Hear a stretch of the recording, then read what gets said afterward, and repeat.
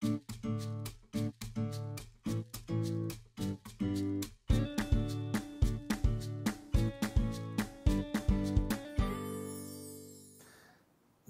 이번 시간에는 어, 그야말로 플랫폼에 대한 실질적인 이야기를 조금 드리도록 할게요.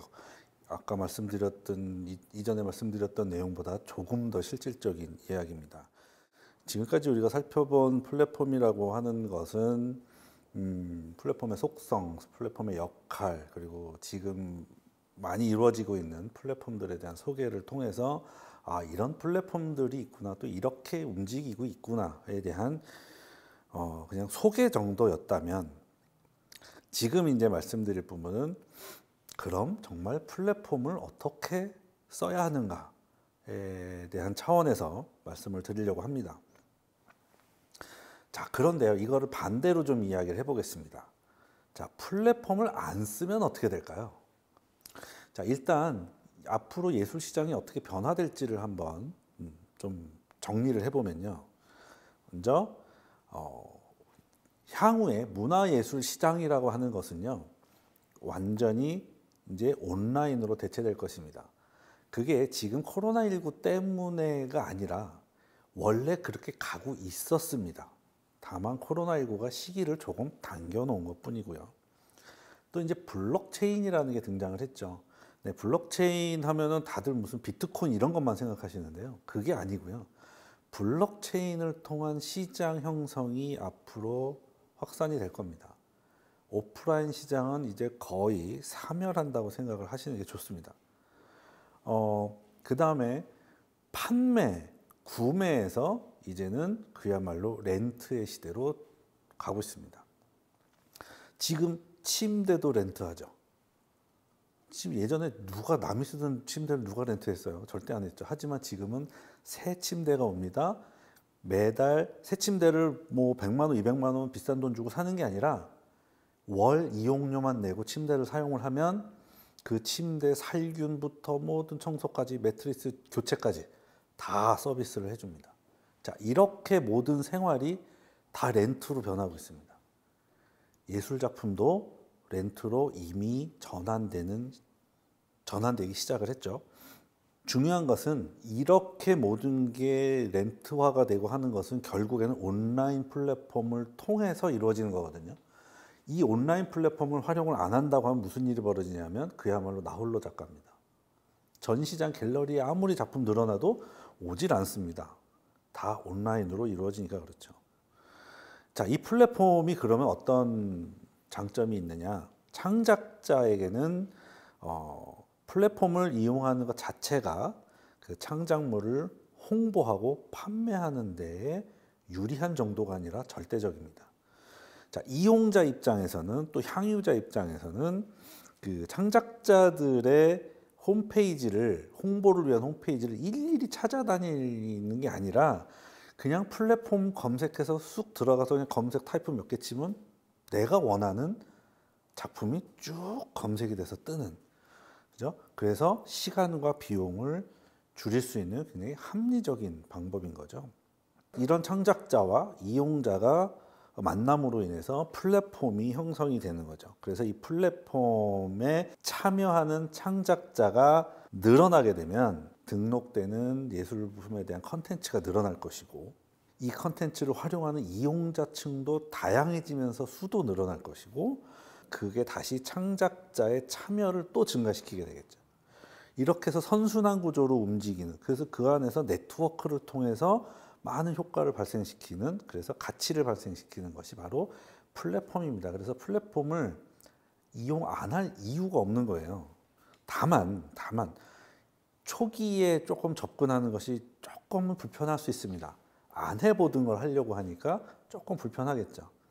하지만 그 순간만 넘긴다면 그 다음부터는 굉장히 수월하게 플랫폼을 이용하실 수가 있습니다. 그런데 재미있는 거, 어, 아까 플랫폼 소개를 제가 하면서 아티스티라고 하는 그 플랫폼에서 AI 큐레이터를 만들어서 제공한다고 했었죠. 네. 지금 아티스티뿐만이 아닙니다. 사실은 AI가 큐레이팅을 하고요. AI가 작품을 만들어내는 시대입니다.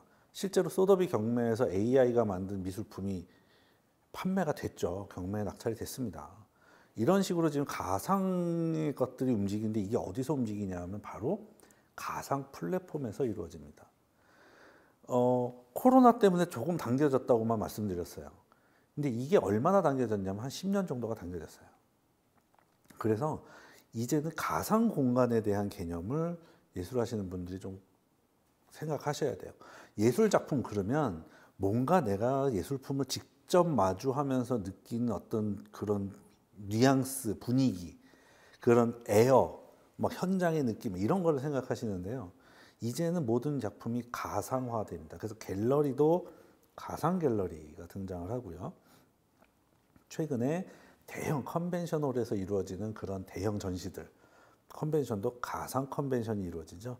가상 공간이 생겨서 내가 플랫폼 통해서 들어가서 검색만 하면 모든 것들을 다 향유할 수 있도록 바뀌었습니다. 심지어는 지금 가상 공간 임대가 등장을 했습니다. 재밌죠? 없는데 아무것도 없어요. 없는데 얘를 돈 주고 임대를 해요. 미쳐서 그거 왜 왜 돈 주고 임대할까요? 네. 여기에 프리미엄을 붙여 다시 팔기 때문에 어떤 프리미엄이요? 여기에 들어가 여러분들 미술 작품 한번 개념을 생각해 봅시다. 미술 작품을 구매하는 사람들은 왜 구매할까요? 그 작품이 좋아서도 구매하지만 투자의 목적이 있죠. 가상 공간도 마찬가지입니다. 가상 공간에 공간만 임대하는 게 아니라 예술 작품이 들어가고요. 우리 일상 용품들이 들어갑니다. 심지어는 꽃나무도 들어가는데 얼마가 자라면 자라납니다. 자라난 가상의 꽃나무를 프리미엄 붙여서 다른 사람에게 되팝니다. 이게 가상 공간 임대의 기본이거든요. 이렇게 된다면 우리가 부동산 현재 오프라인 상에서 부동산이라고 하는 것을 사서 개발해서 부동산 차익을 시세 차익을 내서 파는 것처럼 임대 공간 역시 내가 사서 공간의 값어치를 늘려서 다시 차익을 받고 파는 그런 부동산 임대가 이제 실제로 시작이 됐습니다. 영국에서 이미 사업이 시작이 됐고요. 이거를 준비하는 몇몇 업체들이 전 세계적으로 몇 군데가 있습니다. 특히 제일 핫한 곳이 페이스북입니다. VR 이거 쓰고 아바타가 서로 가상 공간에 만나서 대화 나누고 하는 것들을 지속적으로 개발하는 이유가 수십억 명의 유저를 갖고 있는 페이스북이 그 유저 수를 가지고 할 수 있는 거 이미 유저 수가 확보돼 있으니까 이제 플랫폼만 만들어 놓으면 그 유저들이 플랫폼을 이용을 하겠죠. 거기서 생겨나는 어마어마한 수익을 페이스북은 노리고 있는 거고요. 먼저 선점을 하게 되면 다른 아무리 마이크로소프트고 애플이건 간에 다른 업체는 이 플랫폼 시장을 뛰어들기가 힘들게 되는 거죠. 자, 이렇게 되면 여기서 가상 거래가 당연히 이루어지죠. 네, 그래서 요즘에 live commerce, online commerce 많이 아실 거예요. 이제는 cyber commerce가 등장합니다. 그래서 미술 작품, 예술 작품들 cyber commerce를 통해서 가상에서 즐기게 되는 환경이 이제 곧, 곧, 네, 옵니다. 지금부터 준비를 하셔야 될 거예요. 그 준비라는 것은 바로 우리 예술인들이 가져야 할 마인드를 좀 바꾸셔야 된다. 자, 실제로 예술 활동 자체도 변화가 됐죠. 어, 익명의 소비로 인해서 그, 그 소비의 해, 그 행동을 통해서 자기를 표현하는 그런 향유자들이 어, 많아짐으로써 이들이 소통할 수 있는 창구가 필요해진 거예요. 온라인상에서. 즉, 이들을 흡수할 수 있는 바로 그 플랫폼, 예술을 활용한 그런 플랫폼이 당연히 이제는 나타나야 되는 거고요. 이걸 통해서 예술인들은 거기서 아주 적극적으로 자기 홍보를 해야 되고 그걸 통해서 수익화를 창출을 해야 됩니다.